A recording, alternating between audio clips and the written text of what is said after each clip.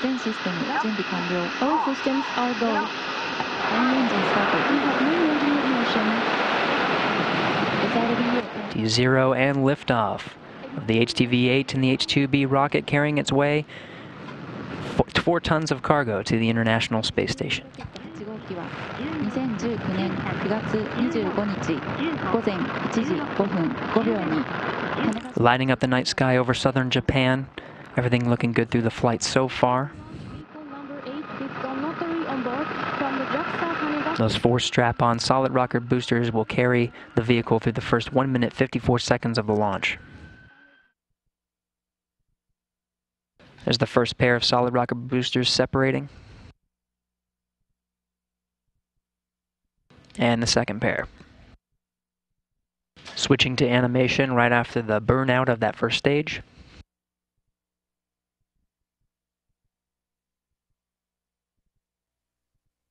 And confirmation that that first stage did successfully cut off. Second stage burning now.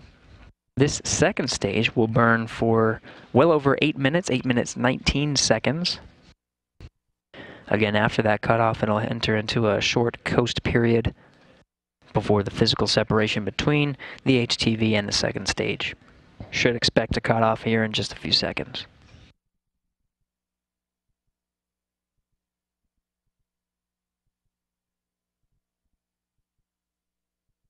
And confirmation of separation.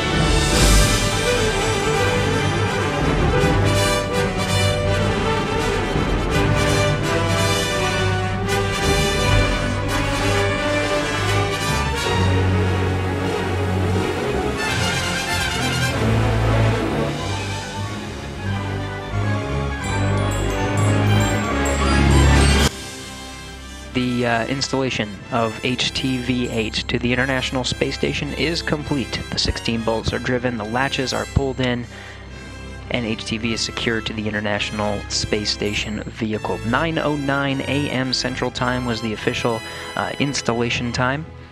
The International Space Station again was flying 269 statute miles uh, over the South Atlantic Ocean, just east off the coast of Argentina.